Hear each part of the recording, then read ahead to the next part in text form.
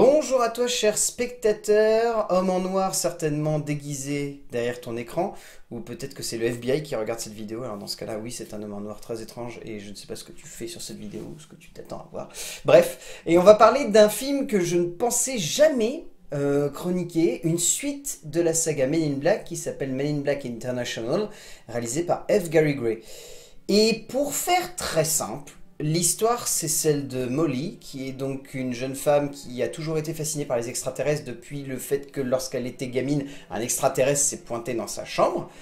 Et en fait, elle va se retrouver à euh, courser les Men in Black pour se faire enrôler euh, dans leur rang et va se retrouver dans une mission qui va l'embarquer à Londres. Je vais essayer de rester très vague parce qu'en fait, là, rien que là, vous avez déjà les 30 premières minutes du film. Donc on va rester sur ça et vous découvrirez par la suite ce que ça raconte. Pour en parler avec moi, une petite nouvelle qui rapporte sa petite touche féminine sur la chaîne, parce que clairement cette chaîne manque de touche féminine. Constance, comment vas-tu? Ça va. Ouais. Oui. Oui. Après un Man in Black euh, bien étrange. Euh, donc, honnêtement, je ne sais pas comment replacer le contexte de la sortie de ce film, parce que ça débarque un peu de nulle part. C'est-à-dire qu'en 2019, avoir envie de faire un revival de la saga Men in Black, je pense personne s'y attendait, euh, surtout entre les mains de F. Gary Gray qui a eu un espèce de coup de génie en réalisant NWA ou Straight Compton. Et sinon, c'est quand même le metteur en scène de pas mal de films qui sont devenus assez ringards. Euh, certains sont devenus cultes, comme Braquage à l'italienne. Euh, d'autres sont devenus simplement des films qui se sont perdus quelque part. et il a aussi fait Fast and Furious 8. Voilà on est quand même sur un bonhomme qui a un CV très bizarre. Et donc du coup, sa présence derrière Benny Black International ne pouvait présager que d'une seule chose, c'est que on avait très envie de faire un épisode 4 et on n'avait plus Will Smith ni Tommy Lee Jones et qu'il fallait faire quelque chose. Et alors là, avec une désuétude complètement totale, je me tourne vers toi, Constance, et je te demande, euh, qu'est-ce qu'on en pense de Men in Black International? Bah voilà quoi. La même réaction que devant Dark Phoenix. oui. Voilà, c'était un film quoi. Alors, faut savoir que Constance, quand elle est sortie de Dark Phoenix, elle a vraiment eu cette réaction. Elle m'a regardé, elle m'a fait bah, C'est un film. non, mais ouais. non, mais c'est ça. C'était. Euh, voilà. C'était. Euh, voilà. Bah non, mais c'est vrai que oui. Mais en fait, euh, cette absence de, mots de la part de Constance veut tout dire. C'est que. Il y a quasiment rien à dire sur ce film. C'est terrible, mais c'est symptomatique pour moi d'un Hollywood qui aujourd'hui ne cherche même plus à comprendre une saga. Mm. Je sais pas ce que tu en as pensé, mais j'ai trouvé que le film était vide. Mais alors vide à un point où il n'y a pas d'âme. Et ça fait peur quand même de se dire qu'à Hollywood aujourd'hui, il n'y a pas d'âme. Parce qu'il y en a plein qui n'arrêtent pas depuis 10-15 ans de dire que les films à Hollywood n'ont pas d'âme. Faut pas déconner, il y a quand même pas mal de films à Hollywood qui racontent quelque chose. Ça fait presque peur. Hein. Je sais pas ce que t'en penses, mais ça fait. Ouais. Oups. Oups.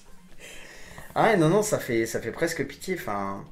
Mais ouais, mais moi, c'est ce que je me suis dit tout le long du film. Je sais pas ce que t'en as pensé, mais je, trouve la manière avec laquelle les personnages sont amenés, la manière avec laquelle l'histoire est construite, tout, tout l'ensemble, c'est. C'est un film qui dégage rien, quoi. C'est. Non, non. Puis il part du principe qu'on connaît l'univers et du coup. Euh, bah. Du coup, on n'amène rien dans l'univers. Ah non, mais, mais ça, fait, ça fait presque peur en fait. C'est-à-dire que vraiment, en fait, le film se veut être un reboot, prendre conscience du fait que bah, des gens vont débarquer et découvrir Men in Black, parce que Men in Black, il faut quand même se dire que le premier épisode date de 97. Donc c'était il y a, attention, 22 ans. Ça fait mal. Et, et, voilà, en fait, à partir de ce moment-là, du coup, euh, tout est considéré comme acquis, tout est considéré comme déjà fait, et alors le film ne cherche même plus à construire d'univers. Et je pense que c'est dû à la fois au travail des scénaristes qui, clairement, à mon avis, ne considéraient pas nécessaire de réintroduire des choses, et c'est également dû à un très mauvais traitement des personnages qu'on va évoquer. Mais alors, les personnages, ah, ça fait vraiment peur. Hein.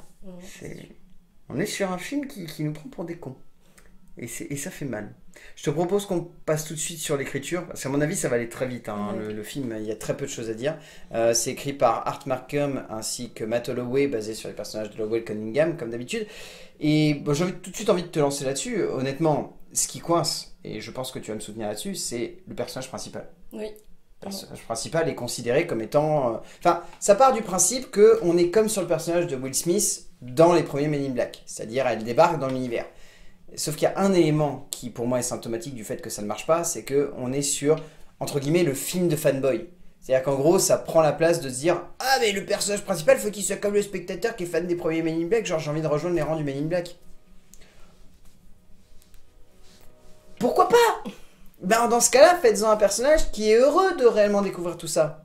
Faites-en pas juste un personnage qui a envie d'enfiler un costume noir. Parce que c'est littéralement ce qui se passe. hein. Je sais pas ce que t'en as pensé, mais j'ai trouvé qu'à partir du moment où elle avait enfilé son costume noir, Mm. il y avait plus de découverte ensuite. Non, bah non, elle était juste euh, ah bah j'y suis. Et puis c'est tout. Ouais. Elle était étonnée de rien et. euh, Un peu voilà. comme nous. Ouais, mais c'est- Non, mais ça fait mal, mais c'est un peu comme nous. Enfin, ce, ce- ce film prend tellement en considération le fait que le spectateur est fan de la saga Men in Black que du coup, il ne pense plus au spectateur qui ne connaît pas Men in Black.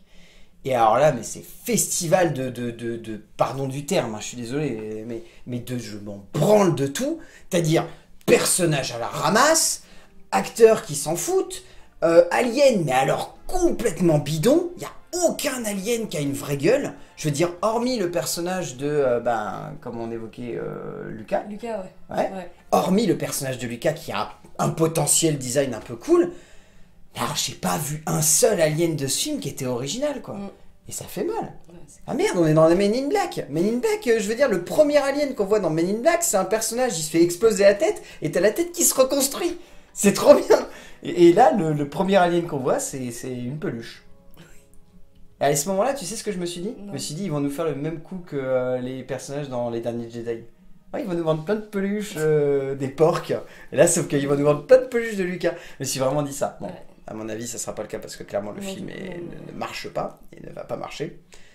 Eh ben, non, non, mais c'est c'est vraiment terrible. Mais on a atteint vraiment ce stade où aujourd'hui à Hollywood, ça n'est plus nécessaire de construire un univers. Et c'est quand même triste, quoi. C'est dommage. Parce que regarde, moi, si j'avais pas vu les Men in Black genre il y a deux jours, bah j'aurais pas. Enfin, c'est pas que j'aurais pas compris l'histoire, c'est juste que. Bah, tu serais resté ouais. encore plus inerte. C'est ça. Et je pense qu'honnêtement, c'est même pas une question qu'on ne comprenne pas l'univers, on le capte, on le Mhm. comprend. Je veux dire, les Men in Black sont réintroduits de manière très brève, mais on arrive à capter ce qu'ils font. Le gros souci, c'est que si tu construis ça, derrière, faut que tu amènes des éléments qui fassent en sorte que le spectateur, il se lie avec ce personnage principal, il fasse en sorte que Molly, ça soit bien plus qu'une simple, entre guillemets, coquille d'immersion au sein des Men in Black. Or là, Molly, dès le moment où elle rentre, dedans, il n'y a plus rien qui la surprend, il n'y a plus rien qui l'amuse, elle essaye pas de, de, de, de cerner quel est vraiment le rôle d'une Men in Black, elle, c'est comme si elle savait déjà tout. Et donc nous, en tant que spectateur, bah, si t'as pas vu les précédents Men in Black, tu te dis, oui, c'est une suite en fait. Ouais, ouais, c'est ça, ouais. C'est pas un reboot, c'est pas un revival, c'est pas une réadaptation, c'est vraiment une suite. Et ça. fait chier quoi. Euh, Pour, pour dire, je trouve pas que le film est pas divertissant en soi. C'est vrai que derrière, t'as quand même une trame qui se tient. Tu te laisses embarquer par les personnages, mais Ouais, mais en dehors de ça. bah, comme on arrête pas de le dire depuis le début, il y a rien. Oh la vache, ça tourne en rond, punaise. Mais je vous jure, c'est c'est terrible, ce film, il y a vraiment rien à en dire. C'est c'est- c'est- Et en soi, on va l'aborder dans la mise en scène après, mais en soi, le film est pas chiant pour autant. C'est juste qu'il est tellement vide de construction, tellement vide de développement, et tellement vide de, de passion pour l'univers, que du coup, tu en ressors, tu te dis waouh Mais le film n'a rien à me raconter en fait. Et ça fait mal Ouais. de dire ça. Enfin, je sais pas, Dark Phoenix, à la limite, il y avait des choses à nous raconter, entre guillemets. C'est mal foutu, ça part dans des directions qui sont hasardeuses et bazardées, mais, mais au moins, il y avait des choses à raconter. Là, il y a rien, quoi. Ça me désespère, punaise. Hein, de me dire qu'il y a des mecs à Hollywood qui en ont si peu à faire. Bon, je te propose qu'on passe à la mise en scène directe avant qu'on se perde. Euh, je sais pas si t'avais vu d'autres films, toi, de F. Gary Gray ou, ou pas du tout? Je sais pas. Ouais. Peut-être. Ouais, non. Bah, honnêtement, ce, ce mec-là a fait vraiment euh, que, que des films, entre guillemets, de, de commande, Ouais. où la plupart du temps, c'est un réal qui, qui, qui est très branché action. Ok. C'est-à-dire que son film, entre guillemets, le plus, on va dire, partagé en termes de critique presse et de critique spectateur, c'est un film avec Garth Butler et Jamie Foxx, où Jamie Foxx rend la justice euh, à grands coups d'explosion. Un film très subtil, euh, qui est détesté par la presse, mais adoré par les spectateurs. Euh, et, et pour moi, c'est ça symptomatique de F. Gary Gray, c'est que c'est un mec qui a toujours été capable d'amuser les spectateurs. Mm. Tu regardes NWA, ça fonctionne parce qu'il a quand même une mise en scène qui est un petit peu... euh, ça tape à l'œil quoi. Genre il aime bien fumer les pépettes, euh, il te montre comment ils font de la musique avec un peu de classe, euh, il arrive bien à fumer les rappeurs, voilà. Et, et en fait, bah, ça me fait beaucoup rire parce que j'ai vraiment vu ça en fait dans Men in Black International. et je sais pas ce que t'en as pensé, mais il y a un côté mais putassier, c'est vraiment. Oui. Ouais. Ouais. Ouais, d'accord, ouais, d'accord. Pour vous donner un ordre d'idée, la séquence où Molly se sape en Men in Black, c'est un clip de rap. C'est- génial, hein. Mais c'est vraiment un clip de rap, hein. Ça fait très parodie aussi. Mais c'est un peu le, le sentiment que tu me disais en plus, c'est que tu as eu la sensation que toi, c'était vraiment une parodie quasiment du début à la fin, en plus, Ouais. ce film. Que... Mm, Surtout, surtout le passage où, euh, où elle se sape en, en Men in Black, mais vraiment. Ouais. J'ai l'impression qu'il se fout de la gueule du premier film. Ce qui est triste, C'est un peu dommage, ouais. C'est un peu triste parce que, quand même, t'as un mec qui débarque et, entre guillemets, il se vend comme étant fan des Men in Black et derrière, il, il se moque un peu de ça. C'est. euh, Je, je sais pas. Mais c'est dommage parce que derrière, je veux dire, il y a quand même. Il s'amuse bien, tu vois. On, va à Marrakech, on Mm. va à Londres, on va à Paris, on, à retourne à. New York, on va à Naples. Enfin, sur une petite île à côté de Naples, mais. euh, Très, très belle île hein, d'ailleurs en passant, mais qui sert pareil à rien. C'est comme tous les trucs du film, ça sert vraiment à rien si ce n'est à voyager. En fait, le souci c'est que en termes de mise en scène, ça m'a fait marrer parce que j'ai eu l'impression de voir un James Bond, un James Bond sauce Men in Black. Tu vois, genre on va de plein de villes, etc. Mm. On s'éclate. Bah, franchement, c'est les personnages fonctions sont tellement amenés de manière fonctionnelle que tu n'as pas le temps de te lier à eux, que littéralement ils sont déjà morts. C'est un James Bond en fait, hein, mais un James Bond vraiment encore plus con. Ouais. C'est le même principe dans James Bond, c'est ça que j'aime dans les James Bond. T'as un personnage qui arrive, genre il raconte sa petite histoire pendant 10 minutes et ensuite il meurt. Ah oui, j'adore. Ouais. Mais là, c'est vraiment le, le magnifique exemple de- d'un ensemble. Et tu vois, pareil, un truc tout bête, mais quand tu penses Men in Black, tu penses design de de- d'Alien. Mm. Franchement, est-ce qu'ils sont marquants dans ce film Non, Ah, Voilà. tellement pas. Ouais. Tu tu sais ce qui m'a fait le plus rire C'est la vendeuse d'armes. Ouais, d'accord. Il y a une flémingite aiguë là qui s'est pointée et les mecs ont fait euh, Oh, pour lui faire un maquillage, mais une perruque dégueu et un bras dans le dos. Merci, il y a eu les galettes saucisses. Hein, c'est. euh, oh la vache, non, mais c'est. Et c'est dommage derrière, encore une fois, je le redis, parce que le film est pas chiant, il est divertissant. Tu te marres quand même, tu t'éclates, les séquences d'action elles sont pas dégueu, les courses-poursuites à Marrakech en moto elles sont classe, t'as as de beaux plans, t'as as quand même une certaine mise en scène. C'est pas Barry Schonenfeld, parce que Barry Schonenfeld il savait hyper bien se servir de la courte focale et ça fait que les. Enfin, je veux dire, je sais pas le sentiment que t'as eu, mais quand tu regardes les trois premiers Men in Black, Mm. il y a une esthétique. Oui. Dire, tu reconnais tout de suite l'identité visuelle. Le travail du placement des personnages, le jeu avec la courte focale, le fait que quand Will Smith te parle, enfin, Oui, bah, oui, c'est les oui. plans que j'adore dans la saga Men in Black, mais quand Will Smith te fait ton show en mode euh, je vais te faire un résumé de qu'est-ce qui s'est passé dans la tête des gens après leur avoir fait un coup de neuralizer, c'est à mourir de rire parce que c'est vraiment la caméra est en fisheye, t'es vraiment en train de regarder Will Smith et on retrouve pas vraiment ça dans le film, si ce n'est par petites touches. C'est quand ils sont euh, face au, au tout petit alien. Ah oui, ouais. T'as ça Mm. Mais c'est en, bah, comme tu disais, en version parodie. C'est-à-dire c'est un, un encore plus gros fisheye. C'est euh, vraiment, on se rapproche de la caméra, on est quasiment à ça de la caméra. T'as envie de dire, ouais, enfin te rapproche pas trop de moi parce que je pourrais presque voir ton maquillage un peu foireux euh, sur, sur les bords. Mais c'est ça tout le long du film, c'est-à-dire que vraiment, et, et je trouve que tu as pointé du doigt ce qui fait, entre guillemets, que ça ne fonctionne pas, c'est qu'en termes de style, F. Gary Gray se moque un peu de Men in Black. Mm. Et grossit tout. Il s'amuse avec les traits de Men in Black, mais il les grossit constamment. Ça. Mais il y a même un moment où, euh, où Molly, elle, euh, elle neuralise euh, les gens et elle leur dit pas. Juste, elle- hop là, Et c'est génial. c'est tout. C'est- pour moi, ça montre je m'en foutisme. C'est-à-dire qu'ils font ça en plus pour les 3-4 pélos qui les ont vu s'écraser. Mais moi, je m'attendais carrément à ce qu'on ait une course-poursuite avec elles, zapp- elles tous les gens. Et je me serais dit, ah, c'est classe. Ouais, en fait, non. non. Mais c'est le gros souci de ce film, c'est qu'il n'y a même pas de logique dans la manière de placer les trucs. Et. ah, c'est. oh. Ce film est compliqué. Si on n'a pas envie de le détester, en plus, c'est ça qui est embêtant. C'est que même toi, t'es sorti, tu, tu- le premier truc que tu m'as dit, c'est bof, Ouais, mais, c'était divertissant. Ouais, c'est ça. Je dis ça va, mais. Ouais. C'est parce que j'ai passé un bon moment devant, mais après. euh, Alors, est-ce que ça voudrait dire que c'est devenu ça Hollywood aujourd'hui? C'est-à-dire, on passe un bon dommage. moment devant et. Ça sera vraiment très dommage pour le coup. bah ça fait, ça fait de la peine quoi. Alors que pourtant, enfin, on va l'aborder tout de suite, mais et comme tu le disais, le film se repose sur un casting de béton quoi. C'est béton. Et ouais, ça fait mal au cœur. Euh, en termes de casting, on est sur un casting, enfin comme on disait, de fou. Je veux dire, il y a, y a- il y a des super acteurs. Tu retrouves Chris Hemsworth et Tessa Thompson qui ont une alchimie monstrueuse depuis euh, Thor Ragnarok. Tu demandes que ça. Mm. T'as Liam Neeson, t'as Emma Thompson. euh, bon, t'as Ahmed Silla en version française qui est peut-être une idée très étrange et qui n'a pas vraiment de sens. Mais tant mieux, tant mieux. Moi j'ai vu en VF et la voix d'Ahmed Silla est un petit peu insupportable. Mais même en termes de second couteau, le film c'est qu'il vraiment de très bons acteurs. Moi je pense à l'acteur qui, euh, qui joue l'agent C, Mm. Euh, dont j'ai perdu le nom, je me souviens jamais, de Raph Spall, Ouais. qui est le fils de Timothy Spall. Je ne sais pas si tu vois qui est Timothy Si, Spall. Ah, voilà. Attends. Et ben c'est le fils de Timothy Spall. Ok. Raph Spall qui est un super acteur. Si vous avez regardé les Shaun of the Dead, euh, tout ce qui est Hot Fuzz et euh, Le Dernier Peuple à la fin du monde, il joue dans les trois, il est excellent. Mais on est sur voilà, des, des seconds couteaux en termes d'acteurs qui sont vraiment excellents. Et, et par exemple, moi, Raph Spall pour moi est hyper mal exploité. Mm. Parce que c'est un, un acteur qui a un talent monstrueux et les quelques séquences qu'il a, il vole la vedette, littéralement. Je veux dire, les séquences de, de baston euh, verbal avec, euh, avec Chris Hemsworth sont vraiment à mourir de rire. Ouais, ouais. Euh, en termes de dialogue, c'est vrai qu'on n'a pas trop parlé des dialogues, mais les dialogues sont d'un niveau assez médiocre. Mais ça, les acteurs, ils y peuvent pas Bah grand chose. Non, non, non, puis ça va avec le film, quoi. mais après, moi pour le coup, Chris Hemsworth et Tessa Thompson, je les trouve pas mauvais, c'est juste Non, que je trouve qu'ils sont, ils sont pas aidés.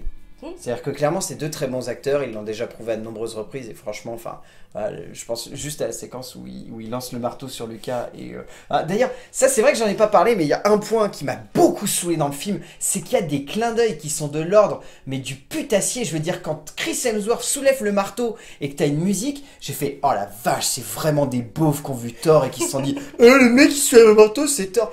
Merci les gars, hein, franchement, on est vraiment cons. Hein. À la limite, tu vois, tous les gens derrière qui se moquent de euh, quand Adam Driver dans The Dead Don't Die, il sort un porte-clés euh, Star Wars et ils font Euh, mais c'est nul, c'est mal placé.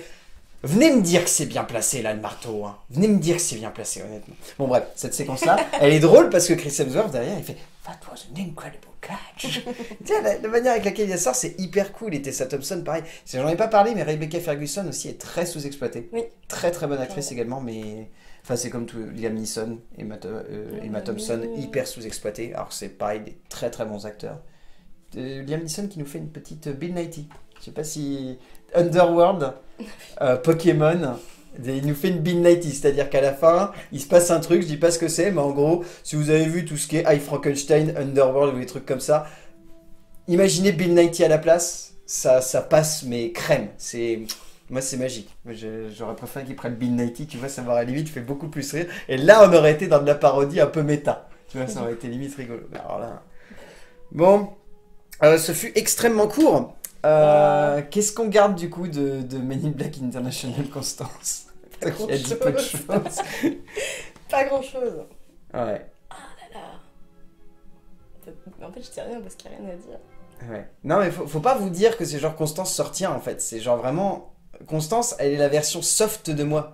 C'est-à-dire que c'est vraiment en mode, là où moi j'en fais des caisses, elle est vraiment en train de se retenir pour éviter de, de- voilà de- d'en faire trop. Mais ouais, on est vraiment sur un film qui. Bah, c'est ça le souci, c'est qu'en soi, c'est un divertissement qui pourrait se tenir la route Mm. s'il assumait d'être une, vraie parodie et qu'il essayait pas de rester dans son côté très sérieux. Or, en étant sérieux, en voulant respecter les codes Ouais. de la saga, ça les détourne de manière non souhaitée et ça devient vraiment un film qui est, pardon de le dire, mais con comme ses pieds, qui enchaîne une mise en scène qui est putassière mais divertissante, un scénario qui est complètement con mais c'est souhaité, et en fait ça fait que ça marche pas. Ouais, bah c'est ça, ça marche. Pour autant ça n'est pas mauvais parce que c'est tout de même une bonne intention de base, mais ça ne marche pas parce que ça n'est pas fait de la bonne manière. Et t'as beau avoir les meilleurs acteurs du monde derrière, bah ça reste un film chiant en fait. Devant lequel. c'est- En fait, c'est ça. C'est un film chiant dans sa manière d'être fait, mais c'est pas un film chiant dans le sens où on s'emmerde pas devant. C'est typiquement le genre de film où tu sors, tu te dis, mais merde quoi, ça aurait pu être bien. Ça. Et où on se fait. Mmh. Voilà. Tu passes un bon moment devant, mais après. euh, Bah, je pense que dans deux semaines, on l'aura, on l'aura zappé ça, quoi. oui. Alors que, à contrario, Men in Black 3, où tout le monde était en mode, ouais, il est bof parce qu'il a eu plein d'emmerdes de prod. Je suis désolé, regardez Men in Black 3 après ça. Même Men in Black 2, je suis en train de le réévaluer à la hausse pour vous dire à quel point celui-là il est quand même à côté de la plaque. hein. Alors que Men in Black 2, c'était quand même. euh, c'était pas extra quoi. Enfin bref, on va arrêter de digresser et de raconter n'importe quoi. Merci Constance d'avoir partagé ma douleur autour de ce film, ma souffrance. Euh, comme d'habitude, on va dire aux gens d'aller voir des films. Parce que c'est bien d'aller voir des films. Même quand on ressort avec le cul entre deux chaises. Ce qui équivaut à peu près à cette position. Mais on ne le fera pas parce qu'on veut pas se taper la honte. Et on se retrouvera pour parler de films, évidemment. À plus. Salut. Il y a un ras-le-bol qui se sent. Cordialement.